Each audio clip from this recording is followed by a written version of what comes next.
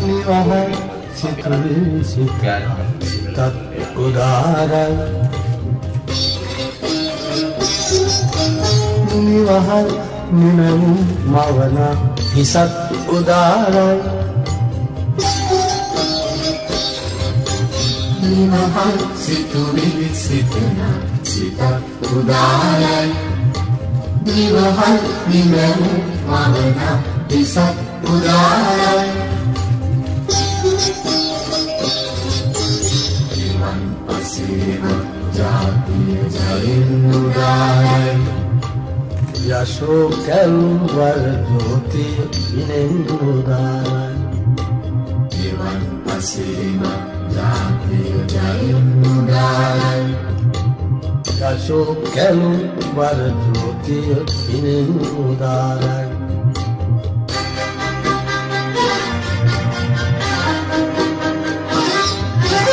නිදා නොනින යලි පිබිදි අහස බලන්නේ නවෝදයේ දෙබලදි දිරු කිකිදිලෙන්නේ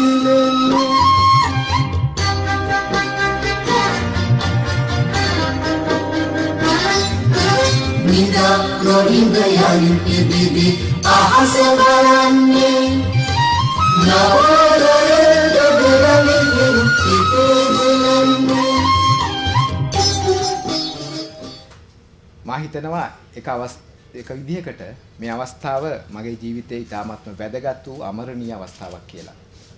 ඒ මන්ද වසර ගණනාවක් තිස්සේ මාධ්‍ය ක්ෂේත්‍රයේ ගත කරමින් වසර 25කට ආසන්න කාලයක් ඒ වගේම වෛද්‍යවරයෙක් ලෙස වසර 20ක් පමණ ගත කරමින් මා ගත කරපු කාලය තුල මා දුටු බොහෝ දේවල් මට සමහර වෙලාවට කරගන්නට බැරුව තිබුණු දේවල් සාර්ථක කරගන්නට මා හිතනවා මගේ මේ ආගමනයේ අවස්ථාවක් වෙවි කියලා.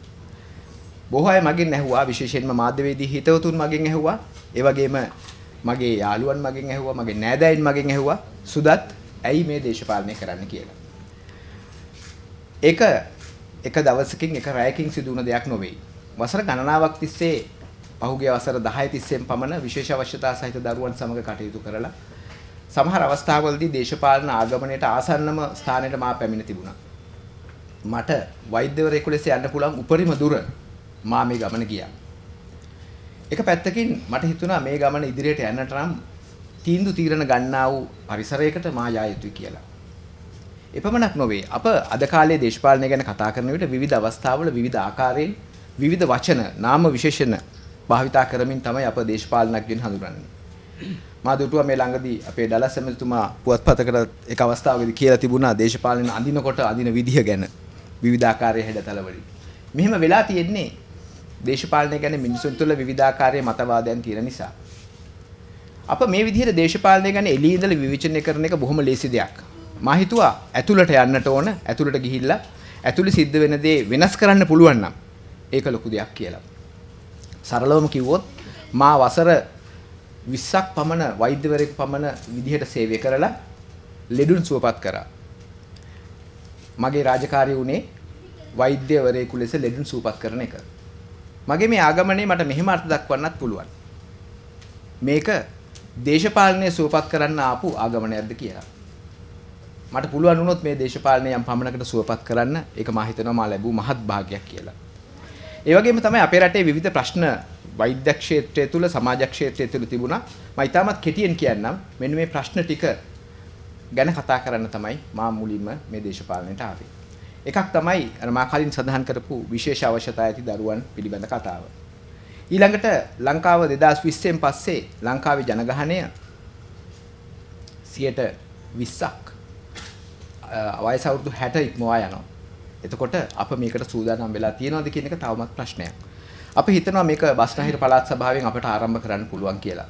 මේ ළඟදී රූපවාහිනී වැඩසටහනට සහභාගීලාත් මා කීවේ පළාත් සභාවක් කියලා කියන්නේ හුදු පළාත් සභාව තුල තියෙන කාර්යයන් පමණක් කරමින් දෙයක් නොවේයි අපට පුළුවන් ජාතික දේශපාලනයට මතවාදයන් ඔසවා තබන්නට. අපේ රටේ මෙහිමයි සිද්ධ වෙන්න ඕනේ කියන මතවාදය අපිට පළාත් පළාත් සභාව තුලින් ඔසවා ගන්නට පුළුවන්. මෙන්න මේ කටයුත්ත කරන්නත් මා හිතනවා අපට පළාත් සභාව හරහා අවස්ථාව ලැබෙයි කියලා. ඒ වගේම තමයි පහුගිය කාලේ අපට විශේෂ අවස්ථා දෙකක් අහන්නට ලැබුණා. ඒ ළමයින් සම්බන්ධව මේ අවස්ථා දෙක පිළිබඳව අප කටයුතු කරන්න ඕන කියලා හිතුවා. එකක් තමයි ඔබ දකින්න නැති පාසල් වල දරුවන්ට විශේෂ අනතුරු වෙලා මේ අනතුරු හරහා දරුවන් සමහර අවස්ථාවල මිය ගිය අවස්ථා.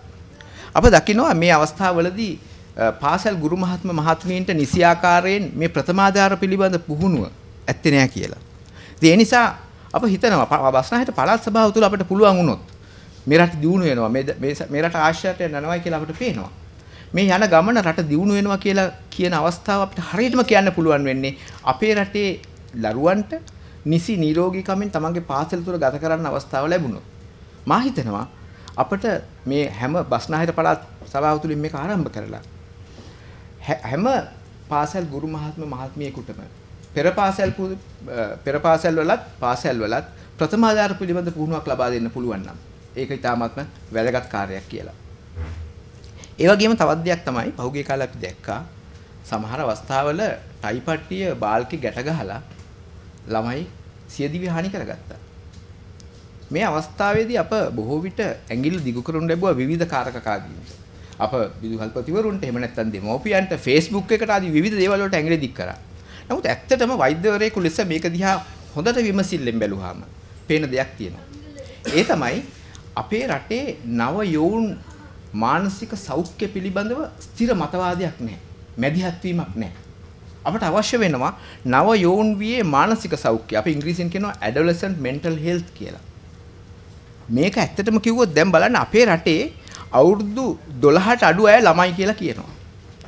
ළමේ කසනීප වුණාට පස්සේ අවුරුදු 12ට අඩු ළමෙක් නම් යන්නේ ළමා වාට්ටුවකට. 12ට වැඩි නම් කොහෙටද යන්නේ? වැඩිහිටි වාට්ටුවකට. 13 14 15 මේ හැම ළමයෙක් යන්නේ වැඩිහිටි වාට්ටුවකට. අපි හිතනවා එහෙම විය යුතු නෑ කියලා. අපිට පුළුවන් නම් ඒ ළමයි වෙනුවෙන් වෙනම කොටසක් වෙන් කරන්න. මේක කායික රෝගවලදී පමණක් නෙවෙයි මානසික තත්ත්වයන් වලදී මෙහෙම වෙන්නට ඕන. අපි ඒ නිසා හිතනවා මේ මානසික තත්ත්වය පිළිබඳව ජාතික මතවාදයක් ඇති වෙන්නට ඕන. මේ මතවාදය අපට බස්නාහිර පළාත් සභාවෙන් ආරම්භ කරන්නට පුළුවන් කියලා. වයස්ගත ජලගහනය ගැනත් ඒ වගේම ප්‍රථමාධාර පුහුණුව පිළිබඳවත් නවයුන් වී මානසික සෞඛ්‍ය පිළිබඳවත් මා හිතනවා මෙතෙක් ලංකාවේ ඊතරම් කතා බහක් ඇති වෙලා නැහැ. වෛද්‍යවරයෙකුගේ ආගමනය තුළ සිදුවිය යුතු වන්නේ අප විශ්වාස කරන්නේ තමන්ගේ ක්ෂේත්‍රය තුළ තමන්ගේ නිපුණතාව තමන්ගේ ජනතාවට ලබා දීම. මා හිතනවා මට ඒ කාර්ය කරන්න පුළුවන් කියලා. ඉතින් එසේනම් මේ මගේ ආගමනය පිළිබඳව මා කියන්නට වෑයම් කරන දේ එයයි. මා ඒ කතාව තුළම මේ අවස්ථාවේදී මගේ මේ ආගමනයට හේතු වුණ අපගේ ගරු ඇමතුමන්ලාට ස්තුති කරන්නත් කැමතියි. ඒ වගේම එතුමන්ලා පිළිගන්නටත් කැමතියි. විශේෂයෙන්ම මා මෙහිදී සඳහන් කරන්නට ඕන පාර්ලි චම්පක රණවක ඇමතිතුමා. එතුමා මගේ මේ ආගමනයේ පිටුපස හිටපු යෝධ සෙවණැල්ලක් වුණා. ඒ වගේම ගරු ඩලස් අහපෙරු මැතිතුමා එතුමාත් මා සාදරයෙන් පිළිගන්නවා එතුමාත් මගේ මේ ගාගමනය පිළිබඳව සිටපු ඉතාමත්ම විශාල යෝධ සෙවණැල්ලක් වුණා හැම අවස්ථාවකදීම මෙතනට ආවට පස්සේ විතරක් නෙමෙයි එන්න පෙරත් ඊට පස්සේ මේ අද මේ මොහොත වෙනකුණුත් මගේ පස්සෙන් ඇවිල්ලා මකට ශක්තියක් වෙමින් මට හැමතිස්සෙම කියනවා සුද්දත් මෙහෙමයි කරන්නට ඕන මේ විදිහට කරන්න ඔයාලට මේ ගමන යන්න පුළුවන් කියලා. ඉතින් ඉතාමත්ම සතුටුයි එවැනි වදන් අහන්නට ලැබීම ගැන. ඒ වගේම විශේෂයෙන් සඳහන් කරන්න ඕන මොහන්ලාල් ග්‍රේරු ඇමතුමා පිළිබඳව එතුමා හැමතිස්සෙම මට කියන දෙයක් තමයි අඩුම ගානේ දවසකට සැරයක්වත් මට කෝල් එකක් දෙන්න කෝල් එකක් දීලා වෙන්නේ මොනවද කියලා කියන සුදත් මේවා අපි විසඳ ගන්න ඕන දේවල් ඔයාලට මේ ගමන යන්න පුළුවන් කියලා. ඉතින් ඒ නිසා මගේ මේ ගමන පිටුපස සිටින විශාල සෙවණැලි කිහිපයක් තමයි මම මේ සඳහන් කරේ. එතුමාලා මම ඉතාමත්ම ගෞරවයෙන් පිළිගන්නවා. වගේම විශේෂයෙන්ම අතිගරු ජනාධිපතිතුමා මෙහිදී සඳහන් කරන්නට ඕන.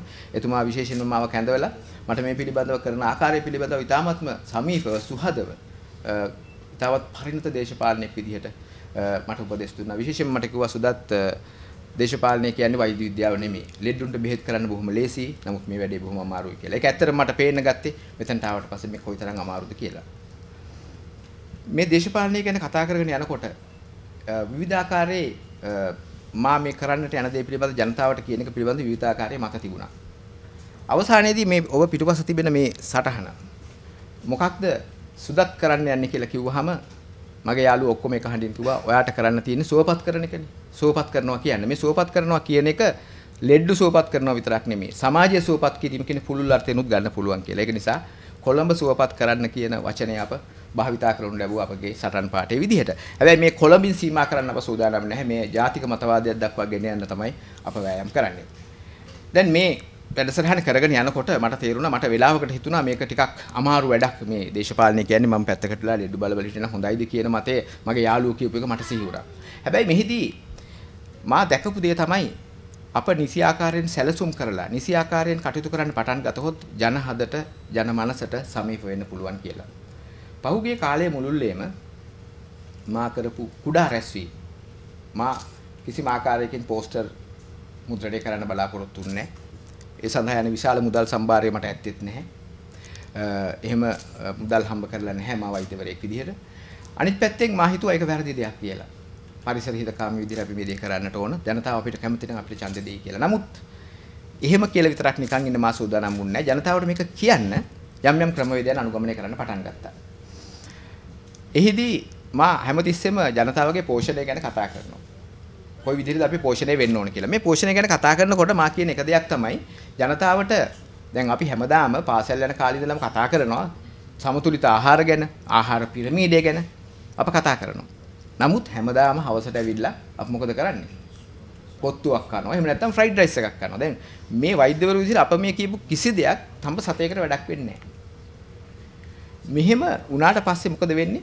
අප දන්නවා අපේ විදිහට වුණාට පස්සේ අපිට දියවැඩියාව ආදී බෝ නොවන රෝග ඕන තරම් ඇති වෙන්න පටන් ගන්නවා. ඇත්තටම එහෙම වුණොත් අපට බෙහෙත් කරන්න වෛද්‍යවරු ඉන්නවා. අප ඉන්නවා ඔබට බෙහෙත් කරන්න. වෙළඳ පොළට යනකොට ඔබ පරිස්සමින් යන්නට ඕන හොඳට මොලේ පාවිච්චි කරලා දේවල් මිලදී ගන්න ඕන කියලා අප හැමතිස්සෙම කියනවා. හැබැයි දැන් අප මේ වෙළඳ පොළෙන් ඔබට කියලා දැන් වෛද්‍යවරයෙකු ලෙස මාදීන්නේ දැන් වෛද්‍ය වෘත්තියෙන් ඔබට ගිහිල්ලානේ. අතික්‍රමණය කළානේ.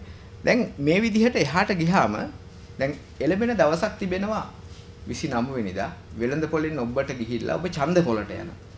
දැන් වෙළඳ පොළේදී වරද්දා ගත්තොත් වෛද්‍යවරු විදිහට අපට ඒක හදන්නට පුළුවන් අඩුම ගානේ බෙහෙත් දීලා. නමුත් ඡන්ද පොළේදී වරද්දා ගත්තොත් අපිට ඒක හදන්න අවුරුදු ගාණක් යනවා. ඒ නිසා අප හැමතිස්සෙම ඉල්ලා සිටින්නේ වෙළඳ පොළේදී වරද්දා ගැනීම වගේ දහස් වාරයක් ඒ වරද්දා ගැනීම නිවැරදිව කරන්නට ඕන නොවරද්දා සිටින්නට ඕන ඡන්ද පොළේදී කියලා. ඒ නිසා ඡන්ද පොලේදී සිදුවෙන කටයුත්ත නිවැරදිව කරන්න ඕනේ. ඒ වගේම අප තව දෙයක් දකිනවා. මේ ඡන්දය පිළිබඳව බොහෝ අය විවේචනය කරනවා ඡන්දයදී පත්වෙන අය පිළිබඳව විවිධ දේවල් කරනවා. ওই විවේචනය කරන බොහෝ අය අන්තිමට මේ ඡන්දේ දාන දවසේ ඡන්දේ දාන්න එන්නේ නැහැ. ඒක නිසා ඡන්දේ සැබෑ ස්වરૂපය සමහර වෙලාවට වෙනස් වෙන්න පුළුවන්. ඒ නිසා අපි විශ්වාස කරනවා මේ අවස්ථාවේදී මේ ඉදිරියට එන්නේ නැති ජනතාව ඉදිරියට කැඳවීම අපේ වගකීම කියලා. මතක තියාගන්න ඡන්දය කියන්නේ අපේ අයිතියක් පමණක් නොවේ අපේ වගකීමක්. ඒක සමාජමය වගකීමක්. ඒ වගකීම හරියට කරන එක අප කළ යුතු දෙයක්. ඒකයි මා කිව්වේ වෙළඳ පොළට වඩා ඡන්ද පොළේදී බොහොම පරිස්සමින් වැඩ කරන්නට ඕන. වැරදුනොත් වැරද්ද හදන්න අවුරුදු ගණනාවක් යනවා බලන් ඉන්න කියලා. ඉතින් මේක කී කී ඉන්නේ නැතුව මේ වෙළඳ පොළ කතාව සංකේතවත් කර කරන්න මා හිතුවා යමක් කරන්නට ඕන කියලා. මා හැමතැනම ගියාට පස්සේ කියනවා හොඳ ආහාර ගන්න එහෙම කියලා කිව්වට අන්තිමට මේක සිද්ධ වෙන්නේ නැහැ. ඒක නිසා අපිට පුළුවන් නම් එය මේ අවස්ථාවේදීම සංකේතවත් කරන්න මා හිතනවා ඒක ඉතාමත් වැදගත් කියලා. ඉතින් ඒක සඳහා තමයි අද මා මේ සූදානම් වෙලා ඉන්නේ. මේ අවස්ථාව අද මෙතෙන් සිට අප සංකේතවත් කරනවා අපගේ ඡන්ද ව්‍යාපාරය තුල සංකේතවත් කරමින් අපි ආරම්භ කරන්නේ ගරු ඇමතුතුමන්ලාට මේ ප්‍රධානය කරමින්